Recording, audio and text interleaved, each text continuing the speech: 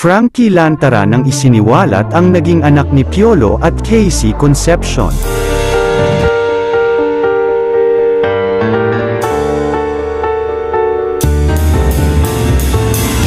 Isa nga sa pinag-uusapan sa ngayon sa social media ay ang hidwaan ng magkapatid na si Frankie Pangilinan at Casey Concepcion.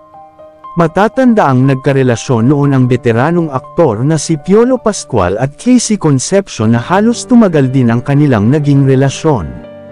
At ito nga ang isa di umano sa mga dahilan kung bakit nagkaroon ng hidwaan ang magkapatid sa ina na si Casey Concepcion at Frankie Pangilinan dahil may mga nalalaman di umano si Frankie na sekreto ni Casey at Piolo na hindi na di umano isinapubliko dahil nga part sila ng showbiz. Umabot din nga sa aming source na di umano'y nagkaroon ng anak si Piolo at Casey na hindi na nila isinapubliko pa dahil sa kahihiyan.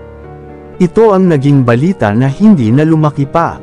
Hindi naman may iwasang paghinalaan ang dalawa sapagkat nagmamahala naman sila noon. Sa tingin niyo mga ka-showbiz balita may katotohanan nga ba ang pagkakaroon ng anak ni Piolo at Casey?